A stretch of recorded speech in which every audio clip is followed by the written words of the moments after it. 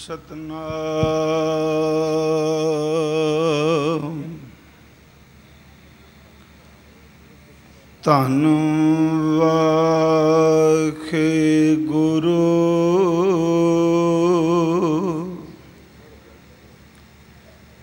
ਸਾਹਿਬ ਜੀ।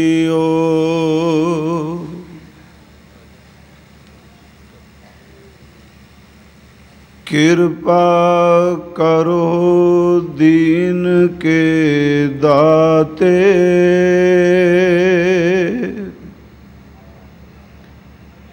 ਮੇਰਾ ਗੁਣ ਅਵਗਣ ਨਾਮ ਵਿਚਾਰੋ ਕੋ ਮਾਟੀ ਕਾ ਕਿਆ ਧੋਪੈ ਸੁਆਮੀ ਮਾਨਸ ਕੀ ਗਤ ਏਕੀ ਪਰਮ ਸਨਮਾਨ ਯੋਗ ਸਤਿਗੁਰੂ ਗੁਰੂ ਗ੍ਰੰਥ ਸਾਹਿਬ ਸੱਚੇ ਪਾਤਸ਼ਾਹ ਜੀ ਦੀ ਪਾਵਨ ਪਵਿੱਤਰ ਖਜ਼ੂਰੀ ਅੰਦਰ। ਸੁਭਾਏਮਾਨ ਗੁਰੂ ਸਵਾਰੇ ਸਤ ਸੰਗੀ ਜਨੋ। ਭਾਈ ਸਾਹਿਬ ਭਾਈ ਦਵਿੰਦਰ ਸਿੰਘ ਜੀ ਸੋਢੀ ਵੱਲੋਂ ਜੋ ਹਰ ਸਾਲ ਗੁਰਮਤ ਸਮਾਗਮ ਆਯੋਜਿਤ ਕੀਤੇ ਜਾਂਦੇ ਨੇ ਇਸ ਵਾਰ ਇਹ 18ਵਾਂ ਗੁਰਮਤ ਸਮਾਗਮ ਜਲੰਧਰ ਸ਼ਹਿਰ ਵਿਖੇ ਕੀਤਾ ਗਿਆ ਹੈ। ਮਹਾਂਪੁਰਖਾਂ ਦੀ ਯਾਦ ਅੰਦਰ ਔਰ ਧੰਨ ਗੁਰੂ ਗ੍ਰੰਥ ਸਾਹਿਬ ਸੱਚੇ ਪਾਤਸ਼ਾਹ ਜੀ ਦੇ ਗੁਰਗੱਦੀ ਪੁਰਬ ਨੂੰ ਸਮਰਪਿਤ ਹੈ ਇਹ ਸਮਾਗਮ। ਆਪ ਜੀ ਨੇ ਅੰਮ੍ਰਿਤ ਗੁਰਬਾਣੀ ਦਾ ਕੀਰਤਨ, ਭਲੋ ਭਲੋ ਰੇ ਕੀਰਤਨੀਆਂ ਦੇ ਸਰਲੇ ਖੇਠ, ਜੋ ਪਿਛਲੇ ਮਹੀਨਿਆਂ ਤੋਂ ਚੱਲ ਰਿਹਾ ਸੀ, ਉਸ ਦੇ ਅੰਤਲੇ ਮੁਕਾਮ ਤੇ ਜੋ ਫਾਈਨਲ ਰਾਉਂਡ ਹੈ, ਉਹ ਆਪ ਸੰਗਤ ਦੇ ਸਮਕਸ਼ ਇਹਨਾਂ ਸਾਰੇ ਵੀਰਾਂ ਭੈਣਾਂ ਨੇ ਆਪ ਜੀ ਦੀ ਅਸੀਸ ਲਈ ਹੈ। ਆਓ ਕੁਝ ਮਿੰਟ ਹੀ ਆਪ ਜੀ ਦੇ ਲੈਣੇ ਨੇ।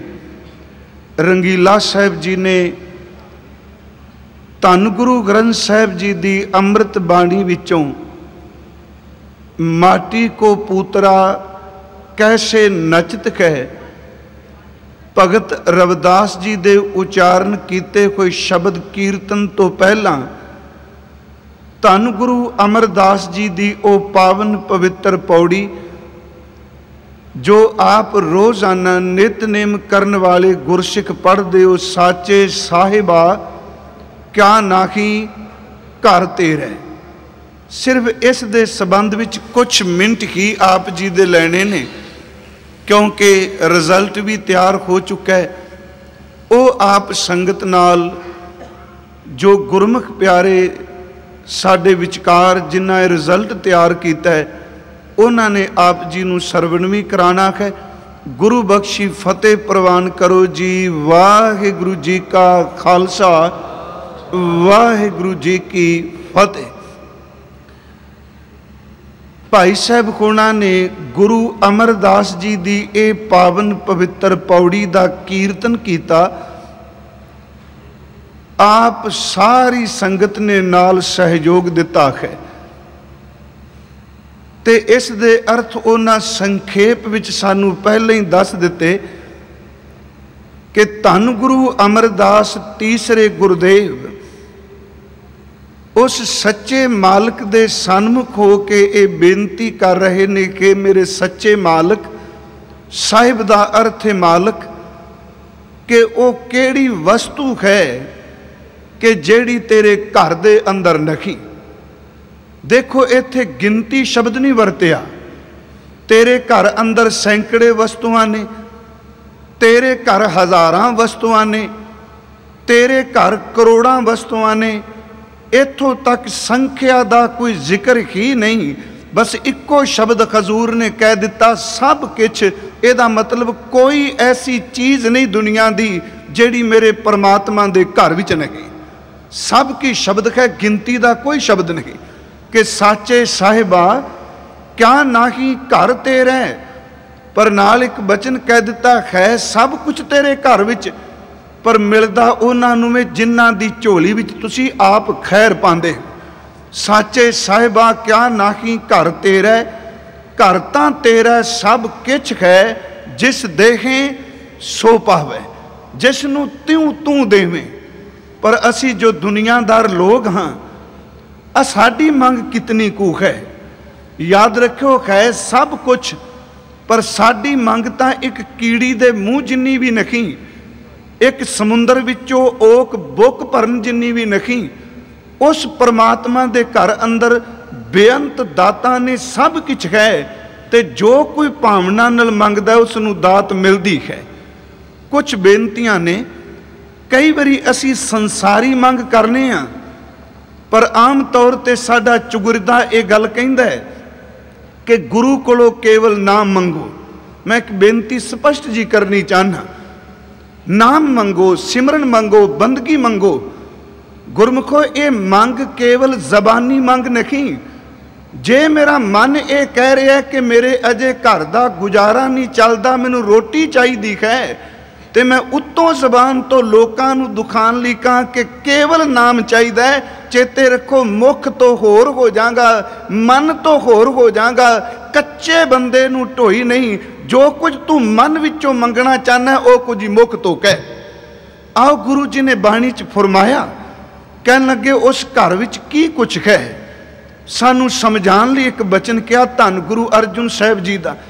ਕਹਿਣ ਲੱਗੇ ਖੇ ਮਾਲਕ ਇਸ ਸੰਸਾਰ ਵਿੱਚ ਹਰ ਬੰਦਾ ਜੋ ਪੰਜਾਂ ਤੱਤਾਂ ਦੇ ਸਰੀਰ ਵਿੱਚ ਵਿਚਰਦਾ ਹੈ, ਉਸ ਦੇ ਅੰਦਰ ਦੀ ਇੱਕ ਇੱਛਾ ਹੈ ਕਿ ਮੇਰਾ ਸਮਾਜ ਵਿੱਚ, ਮੇਰਾ ਸੰਸਾਰ ਵਿੱਚ ਮਾਨ ਜ਼ਰੂਰ ਹੋਵੇ। ਕੋਈ ਬੰਦਾ ਨਹੀਂ ਚਾਹੁੰਦਾ ਮੇਰੀ ਬੇਇੱਜ਼ਤੀ ਹੋਵੇ। ਕੋਈ ਇਨਸਾਨ ਨਹੀਂ ਚਾਹੁੰਦਾ ਮੇਰਾ ਨਿਰਾਦਰ ਹੋਵੇ। ਕਹਿਣ ਲੱਗੇ, ਮਾਲਕ, ਮੈਨੂੰ ਇੱਜ਼ਤ ਦੀ ਲੋੜ ਹੈ। ਕੋਈ ਚਾਹੁੰਦਾ ਮੈਨੂੰ ਤਾਕਤ ਦੀ ਲੋੜ ਹੈ, ਮੈਂ ਇਕੱਲਾ ਰਹਿ ਗਿਆ ਵਾਂ। ਗੁਰੂ ਅਰਜੁਨ ਸਾਹਿਬ ਕਹਿਣ ਲੱਗੇ, ਉਹਦੇ ਘਰ ਸਭ ਕੁਝ ਹੈ। ਜਿਸ ਦਿਨ ਮੈਨੂੰ ਇੱਜ਼ਤ ਦੀ ਲੋੜ ਪਈ, ਮੈਂ ਇੱਜ਼ਤ ਵੀ ਤੇਰੇ ਚਰਨਾਂ 'ਚੋਂ ਮੰਗਾਂਗਾ। ਤਾਕਤ ਦੀ ਲੋੜ ਪਈ, ਤਾਕਤ ਵੀ ਤੇਰੇ ਚਰਨਾਂ 'ਚੋਂ ਮੰਗਾਂਗਾ। ਧਨ ਦੀ ਲੋੜ ਪਈ, ਮੈਂ ਮੂੰਹ ਤੋਂ ਬੋਲ ਕੇ ਧਨ ਵੀ ਤੇਰੇ ਤੋਂ ਮੰਗਾਂਗਾ। ਜੇ ਸੰਤਾਨ ਦੀ ਲੋੜ ਪਈ, ਪੁੱਤਰ ਧੀਆਂ ਦਾਤਾਂ ਤੇਰੇ ਤੋਂ ਮੰਗਾਂਗਾ। ਜੇ ਮੇਰੇ ਤਨ ਨੂੰ ਰੋਗ ਲੱਗ ਜਾਏ, ਡਾਕਟਰ ਜਵਾਬ ਦੇ ਜਾਣ। ਤੇ ਮੈਂ ਅਰੋਗਤਾ ਵੀ ਤੇਰੇ ਘਰੋਂ ਮੰਗਾਗਾ, ਕਿਉਂਕਿ ਤੇਰੇ ਘਰ ਵਿੱਚ ਸਭ ਕੁਝ ਹੈ। ਸਤਿਗੁਰੂ ਦੀ ਬਾਣੀ ਵਿੱਚੋਂ। ਦੇਖੋ, ਇਹ ਅੰਮ੍ਰਿਤ ਬਚਨਾਂ ਵਿੱਚੋਂ ਕੁਝ ਬੇਨਤੀਆਂ ਨੇ। ਹਜ਼ੂਰ ਨੇ ਫਰਮਾਇਆ ਕਿ ਜਨ ਕੋ ਪ੍ਰਭ ਸੰਗੇ ਅਸਨੇ। ਸਾਚੇ ਸਾਹਿਬਾ, ਕਿਆ ਨਹੀਂ ਕਰ ਤੇਰਾ, ਘਰ ਤਾਂ ਤੇਰਾ ਸਭ ਕੁਝ ਹੈ। ਜਨ ਕੋ ਪ੍ਰਭ ਸੰਗੇ ਅਸਨੇ, ਸਾਜਨੋ ਤੂੰ ਮੀਤ ਮੇਰਾ ਗ੍ਰਹਿ ਤੇਰੇ, ਸਭ ਕੇ ਤੇ ਫਿਰ ਸ਼ਬਦ ਸਭ ਵਰਤੇ।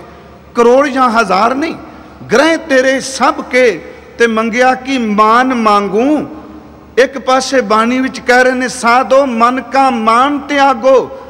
ਪਰ ਯਾਦ ਰੱਖਿਓ, ਮਲੀਨਤਾ ਵਾਲਾ ਮਾਨ ਬੰਦੇ ਨੂੰ ਖੁਆਰ ਕਰਦਾ ਹੈ, ਪਰ ਅੰਦਰ ਸ਼ੁੱਧ ਹੋਵੇ ਤੇ ਲੋਕ ਧੱਕੇ ਮਾਰਨ ਤੇ ਭਗਤ ਵੀ ਕਹਿਣ ਲਈ ਮਜਬੂਰ ਹੋ ਜਾਂਦਾ ਹੈ, ਜੇ ਮੈਨੂੰ ਠੁੱਡੇ ਵੱਜ ਗਏ, ਤੇਰਾ ਨਾਮ ਕਿਸ ਨੇ ਲੈਣਾ? ਕੀ ਉਹ ਮਾਨ ਨਹੀਂ?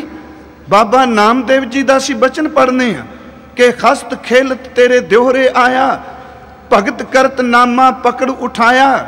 ਉਹਨਾਂ ਨੇ ਸ਼ਬਦ ਕਿਹਾ ਖਿੰਡੀ ਜਾਤ ਮੇਰੀ ਜਾਦ ਮਰਾਇਆ ਛੀਪੇ ਕੇ ਜਨਮ ਕਾਹੇ ਕੋ ਆਇਆ? ਜਦੋਂ ਸਮਾਜ ਨੇ ਮਾਨ ਨਾ ਦਿੱਤਾ ਤੇ ਉਸ ਮਾਨ ਨੂੰ ਹਾਸਲ ਕਰ ਲਈ ਮਹਾਂਪੁਰਖ ਨੇ ਕਿਹਾ ਕਿ ਮੋਕੋ ਤੂੰ ਨਾ ਵਿਸਾਰ ਤੂੰ ਨਾ ਵਿਸਾਰ ਤੂੰ ਨਾ ਵਿਸਾਰੇ ਰਾਮਈਆ। ਆਲਾਵੰਤੀ ਇਹ ਭ੍ਰਮ ਜੋ ਹੈ, ਮੁਝ ਉਪਰ ਸਭ ਕੋਪਿਲਾ। ਸੂਦ ਸੂਦ ਕਰ ਮਾਰ ਉਠਾਇਓ, ਕਹਾਂ ਕਰੂੰ ਬਾਪ ਬੀਠਲਾ। ਉਹਦੇ ਵਿੱਚ ਇੱਕ ਬਚਨ ਅਸੀਂ ਪੜ੍ਹਨੇ ਆ, ਇਹ ਪੰਡੀਆਂ ਮੋਕੋ ਢੇਡ ਕਹਿਤ ਹੈ ਇਹਦਾ ਮਤਲਬ ਉਹਨੂੰ ਮਾਨ ਚਾਹੀਦਾ ਹੈ। ਬਾਣੀ ਦੀ ਬਰੀਕੀ ਵੀ ਜਾਈਏ, ਐਵੇਂ ਨਹੀਂ। ਮਾਨ ਸ਼ਬਦ ਖੰਡਨ ਕਰਨ ਵਾਲਾ ਨਹੀਂ ਕੇਵਲ। ਕਹਿਣ ਲੱਗੇ, ਪੰਡੀਆਂ ਮੋਕੋ ਢੇਡ ਕਹਿਤ ਹੈ, ਤੇਰੀ ਪੈਜ ਪਛੌਂਡੀ ਕੋਇਲਾ ਤੇ ਜੇ ਮਰਨ ਤੋਂ ਬਾਅਦ ਲੋਕ ਕਹਿਣ ਕਿ ਨਾਮਦੇਵ ਸੱਚਖੰਡ ਵਾਸੀ ਹੈ, ਇਹਨਾਂ ਨੂੰ ਕਿਵੇਂ ਪਤਾ ਲੱਗੇਗਾ ਜਿਹੜੇ ਮੈਨੂੰ ਮੰਦਰ ਵਿੱਚੋਂ ਧੱਕੇ ਪੈ ਮਾਰਦੇ ਨੇ? ਇਹਦਾ ਮਤਲਬ ਵਕਤ ਮਾਨ ਚਾਹੀਦਾ, ਵਕਤੀ ਮਾਨ ਚਾਹੀਦਾ ਹਜ਼ੂਰ ਨੇ ਫਰਮਾਇਆ, ਉਹਨਾਂ ਦੇ ਅੰਮ੍ਰਿਤ ਬਚਨ ਅਸੀਂ ਪੜ੍ਹਨੇ ਆ ਕਿ ਮੂਵੇ ਹੋਏ ਜੋ ਮੁਕਤ ਦੇਹੋਗੇ, ਮੁਕਤ ਨਾ ਜਾਣੈ ਕੋਇਲਾ ਜੇ ਇੱਜ਼ਤ ਦੀ ਲੋੜ ਪਈ, ਤੇਰੇ ਦਰ ਤੋਂ ਮੰਗਾਂਗਾ। ਆਓ ਬਾਣੀ ਵਿੱਚੋਂ ਦਰਸ਼ਨ ਕਰੋ। ਜਿਨ੍ਹਾਂ ਨੂੰ ਮਾਨ ਮਿਲਿਆ, ਉਹ ਹੰਕਾਰ ਵਿੱਚ ਨਹੀਂ ਗਏ। ਜਿੰਨਾ ਮਾਨ ਮਿਲਿਆ ਉਹਨਾਂ ਉਹ ਸ਼ੁਕਰ ਵਿੱਚ ਜੁੜ ਗਏ। ਕੀ ਭਗਤ ਰਵਿਦਾਸ ਜੀ ਨੂੰ ਮਾਨ ਮਿਲਿਆ? ਉਹ ਸ਼ੁਕਰ ਵਿੱਚ ਨਹੀਂ ਜੁੜੇ? ਮਾਨ ਮਿਲਦਾ ਇੱਕੋ ਦਮ ਉਹਨਾਂ ਕਿਹਾ, ਐਸੀ ਲਾਲ, ਤੁਝ ਬਿਨ ਕੌਣ ਕਰੈ? ਗਰੀਬ ਨਿਵਾਜ ਗੁਸਈਆ, ਮੇਰਾ ਮਾਥਾ ਛਤਰ ਧਰੈ। ਜਾਂ ਕੀ ਛੋਤ ਜਗਤ ਕੋ ਲਾਗੈ, ਤਾਂ ਪਰ ਤੂੰ ਹੀ ਧਰੈ। ਨੀਚੇ ਊਚ ਕਰੈ, ਮੇਰਾ ਗੋਬਿੰਦ ਕਾਹੂ ਤੇ ਨਾ ਡਰੈ ਗੁਰੂ ਰਾਮਦਾਸ ਜੀ ਨੂੰ ਮਾਨ ਮਿਲਿਆ? ਉਹਨਾਂ ਨੇ ਸ਼ੁਕਰ ਵਿੱਚ ਬਚਨ ਕਹੇ ਕਿ ਤੁਮਰੇ ਗੁਣ ਕਿਆ ਕਹਾ ਮੇਰੇ ਸਤਗੁਰਾਂ? ਜਬ ਗੁਰ ਬੋਲੇ ਤਾਂ ਬਿਸਮ ਹੋਏ ਜਾਏ। ਖਮ ਜੈਸੇ ਅਪਰਾਧੀ ਅਵਰ ਕੋਈ ਰਾਖੈ, ਜੈਸੇ ਖਮ ਸਤਗੁਰ ਰਾਖ ਲਿਏ ਛਡਾਏ। ਤੂੰ ਗੁਰ ਪਿਤਾ, ਤੂੰ ਹੈ ਗੁਰ ਮਾਤਾ, ਤੂੰ ਗੁਰ ਬੰਦਪ ਮੇਰਾ ਸਖਾ ਸਖਾਏ। ਜੋ ਖਮਰੀ ਬਿਦ ਖੋਤੀ ਮੇਰੇ ਸਤਗੁਰਾਂ, ਆ ਮਾਨ ਨਹੀਂ ਤਾਂ ਹੋਰ ਕੀ ਖੈ? ਜੋ ਖਮਰੀ ਬਿਦ ਖੋਤੀ ਮੇਰੇ ਸਤਗੁਰਾਂ ਸਾਬਿਦ ਤੁਮ ਕਰ ਜਾਣੋ ਆਪੇ ਖਮ ਰੁਲਤੇ, ਫਿਰਤੇ, ਕੋਈ ਬਾਤ ਨਾ ਪੁੱਛਤਾ, ਗੁਰ ਸਤਗੁਰ ਸੰਗ ਕੀਰੇ ਖਮ ਥਾਪੇ, ਮਾਨ ਸੱਚਾ ਮਿਲਿਆ, ਕਹਿਣ ਲੱਗੇ ਧੰਨ ਧੰਨ ਗੁਰੂ ਨਾਨਕ ਜਨ ਕੇਰਾ, ਜਿਤ ਮਿਲਿਆ ਚੂਕੇ ਸਭ, ਸੋਗ ਸੰਤਾਪੇ। ਸਿਰਫ ਟਿਊਕ ਮਾਤਰ ਘਰ ਤਾਂ ਤੇਰਾ, ਸਭ ਕੁਛ ਹੈ। ਮਾਨ ਮੰਗੂ, ਅਗਲੀ ਤੋਖ ਹੈ ਤਾਨ ਤਾਨ ਦਰ ਤੇ ਸ਼ਕਤੀ, ਬਲ ਤਾਕਤ ਚੇਤੇ ਰੱਖੋ ਕਿ ਜਿਸ ਦਿਨ ਪਰਿਵਾਰ ਦੇ ਲੋਕ ਸਪਸ਼ਟ ਜੀਆਂ ਬੇਨਤੀਆਂ ਨੇ, ਸ਼ਹਿਰ ਦੇ ਲੋਕ, ਬਰਾਦਰੀ ਦੇ ਲੋਕ, ਆਪਣੇ ਨਜ਼ਦੀਕ ਦੇ ਲੋਕ ਵੀ ਮਾਨ ਨਾ ਦੇਣ, ਤੇਰਾ ਬਲ ਖਤਮ ਹੋ ਜਾਏ, ਉਸ ਦਿਨ ਅਰਦਾਸ ਕਰੀ, ਉਸ ਵਿੱਚ ਇਤਨੀ ਕੁ ਤਾਕਤ ਕਹੇ, ਜੇ ਬਲ ਦੇਣ ਤੇ ਆਵੇ ਤੇ ਕੀੜੇ, ਕੀੜੀ ਨੂੰ ਪਾਤਸ਼ਾਹੀ ਦੇ ਦਿੰਦਾ ਤੇ ਬਾਦਸ਼ਾਹਾਂ ਨੂੰ ਰਾਹ ਕਰ ਦਿੰਦਾ ਹੈ। ਕਿ ਉਸ ਘਰ ਵਿੱਚ ਬਲ ਨਹੀਂ? ਅਸੀਂ ਦੋ ਬਚਨ ਪੜਨੇ ਆ, ਬਲ ਚੁਟਕਿਓ ਬੰਧਨ ਪਰੇ? ਕਛੂ ਨਾ ਹੋਤ ਉਪਾਏ, ਕਉ ਨਾਨਕ ਅਬ ਓਟ ਕਰ ਗੱਜ ਜਿਉ ਹੋ ਸਹਾਏ। ਤੇ ਜਿਹਨੂੰ ਤਾਣ ਮਿਲਿਆ, ਉਹਨਾਂ ਫਿਰ ਸ਼ਬਦ ਕਹੇ, ਬਲ ਖੋਵਾ ਬੰਧਨ ਛੁਟੇ, ਸਭ ਕਿਛ ਖੋ ਤੂ ਪਾਏ ਨਾਨਕ ਸਭ ਕਿਛ ਤੁਮਰੇ ਖਾਤਮੇ, ਘਰ ਤਾਂ ਤੇਰਾ ਸਭ ਕਿਛ ਹੈ।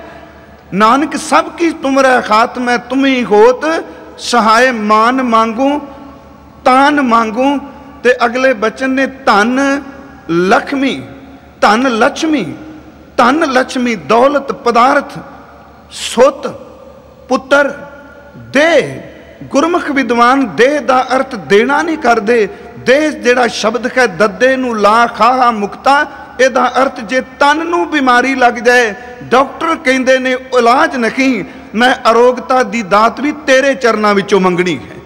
ਕਿ ਇਹ ਪਰਮਾਤਮਾ ਦੇ ਘਰ ਵਿੱਚ ਕਿਸੇ ਚੀਜ਼ ਦੀ ਕਮੀ ਹੈ? ਬਿਲਕੁਲ ਨਹੀਂ। ਸਿਰਫ ਅੰਦਰ ਦਾ ਵਿਸ਼ਵਾਸ ਜੇ ਬਣ ਜਾਏ ਤੇ ਸਹਿਬ ਜਿਹਦੇ ਤੇ ਤਰੁੱਟ ਪਵੇ, ਉਹਦੀ ਝੋਲੀ ਵਿੱਚ ਇਹ ਦਾਤ ਪਾ ਦਿੰਦੇ ਨੇ। ਸਤਿਗੁਰੂ ਗੁਰੂ ਅਰਜਨ ਦੇਵ ਜੀ ਦਾ ਇੱਕ ਬਚਨ ਕਹਿ ਕੇ ਸੰਪੂਰਨਤਾ ਵੱਲ ਆਉਣਾ ਪਿੱਛੇ ਤੁਸੀਂ ਸਾਰੇ ਇਹ ਸਮਾਗਮ ਮਹਾਂਪੁਰਖਾਂ ਦੀ ਯਾਦ ਵਿੱਚ ਹੁੰਦਾ ਹੈ ਹਰ ਸਾਲ। ਪਰ ਇਸ ਸਾਲ ਪਿੱਛੇ ਲਿਖ ਕੇ ਲਾਇਆ, ਹਰ ਸਿੱਖ ਕਹਿ ਰਿਹਾ ਕਿ 300 ਸਾਲ ਗੁਰੂ ਦੇ ਨਾਲ। ਗੁਰਮਖੋ, ਗੁਰੂ ਅਰਜੁਨ ਦੇਵ ਜੀ ਦਾ ਇੱਕ ਬਚਨ ਹੈ ਸ਼ਲੋਕ ਸੰਸਕ੍ਰਿਤੀ ਵਿੱਚ ਕਿ ਉਸ ਦੇ ਘਰ ਵਿੱਚ ਕੀ ਕੁਝ ਹੈ। ਕਹਿੰਦੇ ਨੇ, ਜਿਹੜੇ ਲੋਕ ਆਪਣੀ ਜ਼ਿੰਦਗੀ ਦੇ ਹਰ ਮੁਕਾਮ ਵਿੱਚ ਪਿੱਛੇ ਰਹਿ ਗਏ ਨੇ, ਉਹ ਪ੍ਰਮਾਤਮਾ ਗੁਰੂ ਦੀ ਸੇਵਾ ਕਰਨ, ਪਿੱਛੇ ਰਹਿਣ ਵਾਲਿਆਂ ਨੂੰ ਸੇਵਾ ਆਗੂ ਬਣਾ ਦਿੰਦੀ ਹੈ। ਜਿਹੜੇ ਲੋਕ ਜ਼ਿੰਦਗੀ ਵਿੱਚ ਹਰ ਥਾਂ ਤੋਂ ਨਿਰਾਸ਼ ਹੋ ਗਏ ਨੇ, ਉਹ ਗੁਰੂ ਕੀ ਸੇਵਾ ਕਰਨ ਨਿਰਾਸ਼ਿਆਂ ਦੀ ਆਸ ਹੈ ਗੁਰੂ ਕੀ ਸੇਵਾ। ਜਿਹੜੇ ਲੋਕ ਵਿਚਾਰੇ ਇੱਕ ਰੋਟੀ ਤੋਂ ਆਤੁਰ ਨੇ ਤਨ ਗੁਰੂ ਗ੍ਰੰਥ ਸਾਹਿਬ ਜੀ ਕਿਰਪਾ ਕਰਦੇ ਨੇ, ਉਹ ਸੇਵਾ ਕਰਨ।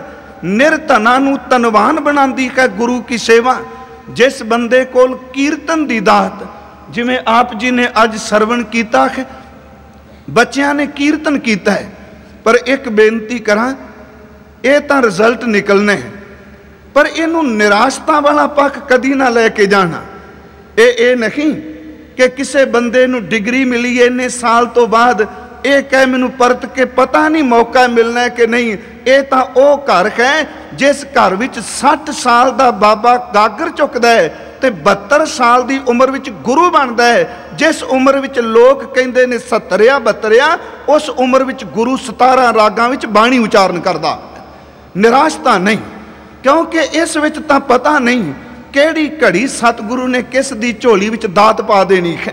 ਹਜ਼ੂਰ ਨੇ ਕਿਹਾ, ਜੇ ਕੀਰਤਨ ਚਾਹੀਦਾ ਹੀ ਤੂੰ ਗਲੇ ਤੋਂ ਕੀਰਤਨ ਕਰ, ਰਸਨਾ ਨਾਲ ਬੋਲ, ਪਰ ਖੱਤੀ ਸੇਵਾ ਕਰੀ, ਸੇਵਾ ਕਰਨ ਵਾਲਿਆਂ ਨੂੰ ਕੀਰਤਨ ਮਿਲਦਾ ਹੈ।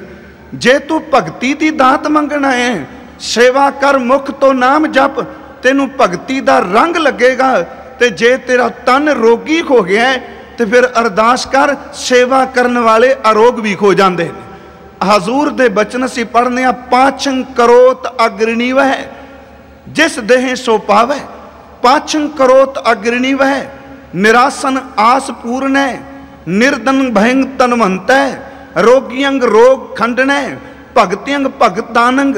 RAM ਨਾਮ ਗੁਣ ਕੀਰਤਨੈ ਪਾਰ ਬ੍ਰਹਮ ਪੁਰਖ ਦਾਤਾਰੈ ਨਾਨਕ ਗੁਰ ਸੇਵਾ ਕੇ ਨਾ ਲੱਭੇ ਤੇ ਕਿਹੜੀ ਚੀਜ਼ ਹੈ ਜਿਹੜੀ ਗੁਰੂ ਕੀ ਸੇਵਾ ਵਿੱਚੋਂ ਨਹੀਂ ਮਿਲਦੀ? ਗੁਰਮਖੋ, ਆਓ, ਆਪਾਂ ਗੁਰੂ ਦੇ ਨਾਲ ਰਹੀਏ, ਸਿਰਫ ਸੰਪਾ, ਸੰਪੂਰਨਤਾ ਤੇ। ਆਨੰਦ ਸਾਹਿਬ ਦੀ ਬਾਣੀ ਵਿੱਚ ਹੀ ਇੱਕ ਪੌੜੀ ਸਿਰਫ ਕਹਿ ਕੇ ਸੰਪੂਰਨਤਾ ਕਰਨੀ ਚਾਹਾਂਗਾ ਕਿ ਗੁਰੂ ਨਾਲ ਅਸੀਂ ਰਹੀਏ। 300 ਸਾਲ ਗੁਰੂ ਦੇ ਨਾਲ ਕਿਹ ਬਸ ਇੱਕ ਗੱਲ ਚੇਤੇ ਰੱਖ, ਤੂੰ ਗੁਰੂ ਨਾਲ ਰਹਿਣਾ ਸੁਖ ਜਾ, ਤੇ ਗੁਰੂ ਤੇਰੇ ਨਾਲ ਹਮੇਸ਼ਾ ਵਾਸਤੇ ਰਹੇਗਾ। ਪਿਛਲੇ ਦਿਨ ਇੱਕ ਮੈਂ ਬੇਨਤੀ ਕੀਤੀ, ਬਾਣੀ ਵਿੱਚ ਦੋ ਗੱਲਾਂ ਬੜੀਆਂ ਅਸਚਰਜ ਆਈਆਂ, ਕਿ ਨਾਮ ਨੂੰ ਸੰਭਾਲੋ ਤੇ ਫਿਰ ਕਿਹਾ ਗਿਆ ਨਾਮ ਤੁਹਾਨੂੰ ਸੰਭਾਲੇਗਾ।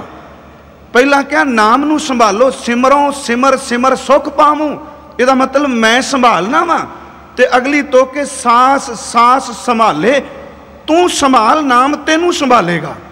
ਕੈਸੀ ਅਚਰਜ ਬਾਤ? ਨਾਮ ਸਾਨੂੰ ਸੰਭਾਲੇ, ਪਹਿਲਾਂ ਅਸੀਂ ਨਾਮ ਨੂੰ ਸੰਭਾਲੀਏ ਤੇ ਇੱਕ ਉਦਾਹਰਨ ਮੈਂ ਇੱਥੇ ਜ਼ਰੂਰ ਦੇਣੀ ਚਾਹਾਂਗਾ ਤੇ ਇਸ ਉਦਾਹਰਨ ਦੇ ਅਰਥ ਮੁਕੰਮਲ ਨਾ ਸਮਝਣਾ। ਨਾਮ ਇਸ ਤੋਂ ਉੱਚਾ ਹੈ। ਉਦਾਹਰਨ ਇਸ ਕਰਕੇ ਦਿੱਤੀ ਜਾਂਦੀ ਹੈ, ਗੱਲ ਸਮਝ ਪੈ ਜਾਏ, ਪਰ ਉਦਾਹਰਨ ਮੁਕੰਮਲ ਅਖੀਰਲਾ ਸੱਚ ਨਹੀਂ ਹੁੰਦਾ।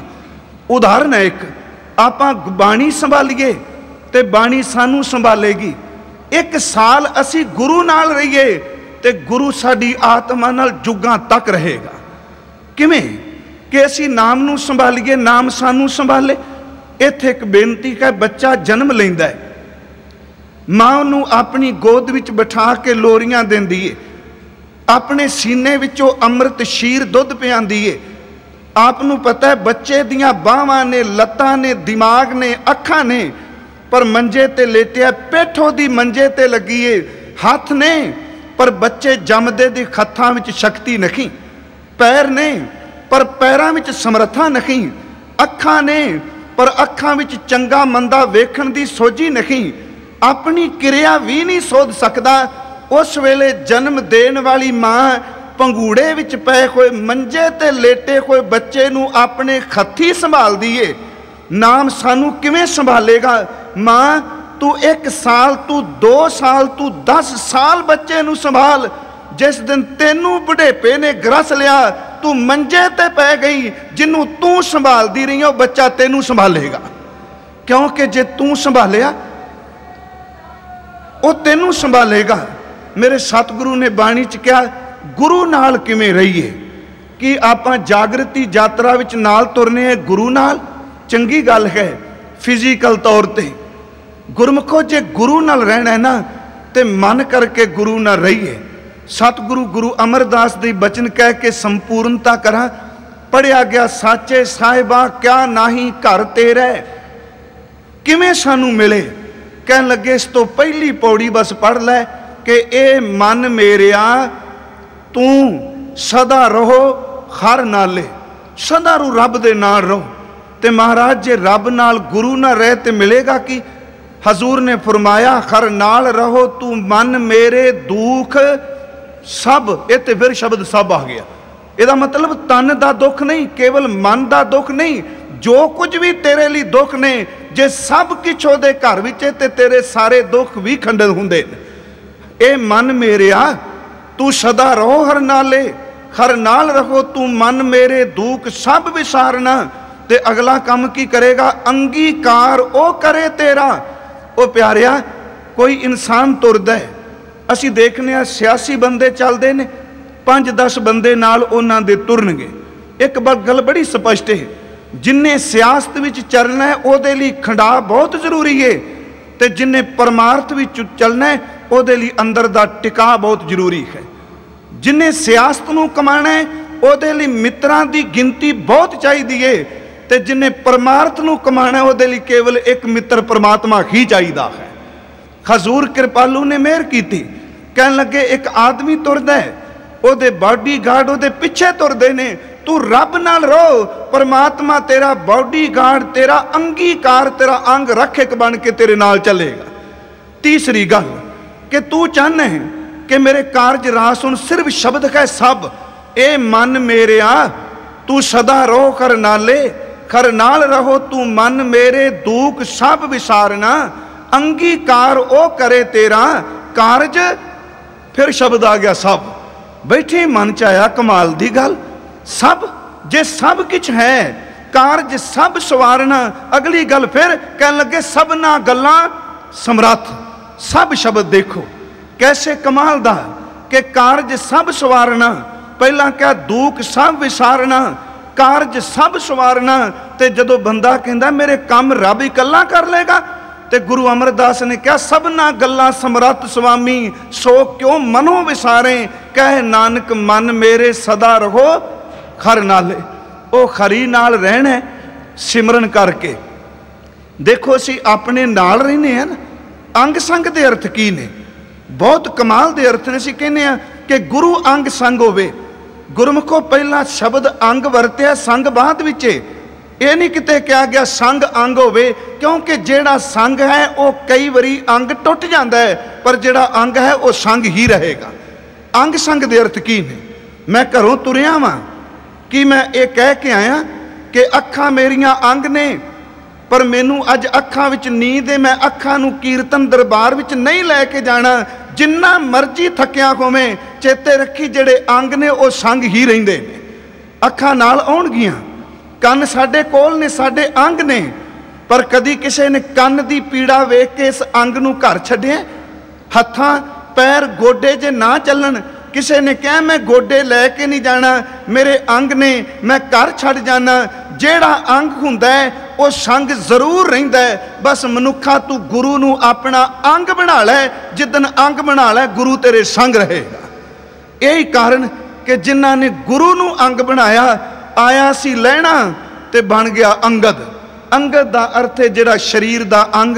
ਆਓ ਸਤਿਗੁਰੂ ਮਿਹਰ ਕਰੇ, ਸਾਨੂੰ ਸਮਤ ਬਖਸ਼ੇ। ਮੇਰੀ ਇੱਕੋ ਆਪ ਜੀ ਦੇ ਚਰਨਾਂ 'ਚ ਬੇਨਤੀ ਹੈ ਕਿ ਜਿਨ੍ਹਾਂ ਮਹਾਂਪੁਰਖਾਂ ਨੂੰ ਹਰ ਸਾਲ ਯਾਦ ਕੀਤਾ ਜਾਂਦਾ ਹੈ, ਸਾਰੇ ਕੀਰਤਨੀਏ, ਰਾਗੀ ਸਿੰਘ, ਕਥਾਵਾਚਕ, ਅਸੀਂ ਸਾਰੇ ਗੱਲ ਕਰਨੇ ਆ। ਉਹਨਾਂ ਨਾਮ ਜਪਿਆ, ਗੁਰੂ ਗ੍ਰੰਥ ਸਾਹਿਬ ਦਾ ਸਤਕਾਰ ਕੀਤਾ। ਸਿਰਫ ਇੱਕੋ ਬੇਨਤੀ ਹੈ ਜਿਹੜੇ ਗੁਰੂ ਗ੍ਰੰਥ ਸਾਹਿਬ ਦਾ ਸਤਕਾਰ ਉਹਨਾਂ ਕੀਤਾ, ਉਹ ਗੁਰੂ ਗ੍ਰੰਥ ਸਾਹਿਬ ਨਹੀਂ ਬਦਲਿਆ, ਉਹ ਅੱਜ ਵੀ ਸਾਡੇ ਕੋਲ ਏ। ਜੇ ਇੱਕ ਯਤਨ ਕਰ, ਜੇ ਉਹਨਾਂ ਨੂੰ ਯਾਦ ਕਰਨਾ ਤੇ ਘੱਟੋ ਘੱਟ ਉਹਨਾਂ ਦੀ ਤਰ੍ਹਾਂ ਫਿਰ ਗੁਰੂ ਗੁਰੂ ਜਪਣਾ ਵੀ ਸ਼ੁਰੂ ਕਰ ਦੇ। ਸਤਕਾਰ ਕਰ।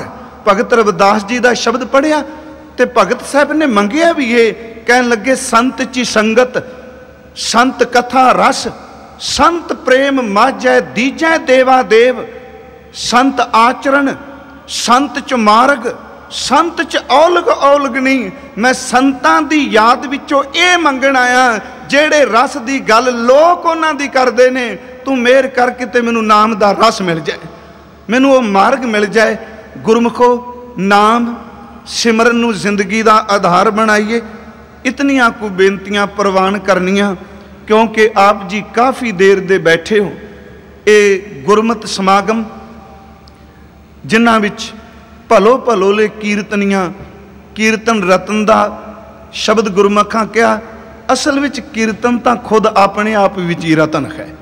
ਤੇ ਐਸਾ ਰਤਨ ਹੈ ਜਿਸ ਦੀ ਕੋਈ ਕੀਮਤ ਨਹੀਂ।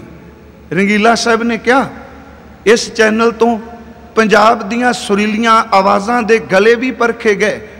ਪੰਜਾਬ ਦੀ ਆਵਾਜ਼ ਕਿਹਾ ਗਿਆ, ਪਰ ਚੇਤੇ ਰੱਖਿਓ, ਭਾਵੇਂ ਕੋਈ ਪਿੱਛੇ ਰਹਿ ਗਿਆ, ਭਾਵੇਂ ਕੋਈ ਅੱਗੇ ਆ ਗਿਆ ਜਿਹਦੇ ਗਲੇ ਵਿੱਚੋਂ ਸ਼ਬਦ ਨਿਕਲਿਆ ਹੈ, ਪੰਜਾਬ ਦੀ ਆਵਾਜ਼ ਕੇਵਲ ਕੁਝ ਦਿਲਿਆਂ ਤੱਕ ਸੀਮਤ ਕਹੇ ਤੇ ਗੁਰੂ ਦੀ ਆਵਾਜ਼ ਪਰਮਾਤਮਾ ਦੇ ਘਰ ਤੱਕ ਜਾਏਗੀ ਇਹ ਤੁਹਾਡੇ ਗਲੇ ਵਿੱਚੋਂ ਨਿਕਲਿਆ ਹੋਇਆ ਸ਼ਬਦ, ਇਹ ਗੁਰੂ ਦੀ ਆਵਾਜ਼ ਹੈ ਤੇ ਗੁਰੂ ਦੀ ਆਵਾਜ਼ ਉੱਥੇ ਪਹੁੰਚਦੀ ਹੈ ਪਿਆਰਿਓ ਕਿ ਜਿੱਥੇ ਦੁਨੀਆ ਦੀਆਂ ਆਵਾਜ਼ਾਂ ਮੁੱਕ ਜਾਂਦੀਆਂ ਨੇ।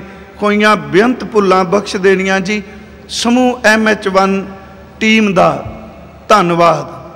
ਕਿਉਂਕਿ ਭਾਵੇਂ ਮੈਨੂੰ ਇਹ ਸ਼ਬਦ ਕਹਿਣੇ ਬੰਦੇ ਸਨ ਜਾਂ ਨਹੀਂ, ਕਿਉਂਕਿ ਜਿੱਥੇ ਇਹਨਾਂ ਨੇ ਭਲੋ ਪਰੋਲੇ ਕੀਰਤਨੀਆਂ ਉਥੇ ਤਕਰੀਬਨ 2 2.5 ਸਾਲ ਹੋ ਗਏ ਨੇ, ਆਪ ਸੰਗਤ ਦੀ ਸੇਵਾ ਕਥਾ ਰਾਹੀਂ, ਗੁਰਮਤ ਸਮਾਗਮਾਂ ਰਾਹੀਂ ਇਸ ਚੈਨਲ ਨੇ ਬਹੁਤ ਕੀਤੀ ਹੈ।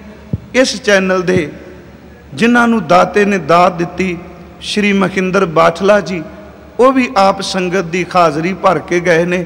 ਵਾਹਿਗੁਰੂ ਕਿਰਪਾ ਕਰੇ, ਉਹਨਾਂ ਨੂੰ ਚੜ੍ਹਦੀ ਕਲਾ ਔਰ ਤੌਫੀਕ ਬਖਸ਼ੇ। ਇਸ ਸਮੁੱਚੀ ਟੀਮ ਨੂੰ ਉਸਾਰੂ ਸੋਚ, ਉਸਾਰੂ ਸਮਾਜ ਦੀ ਸਿਰਜਣਾ ਦੀ ਲਿਆਕਤ ਬਖਸ਼ੇ। ਵਾਹਿਗੁਰੂ ਜੀ ਕਾ ਖਾਲਸਾ, ਵਾਹਿਗੁਰੂ ਜੀ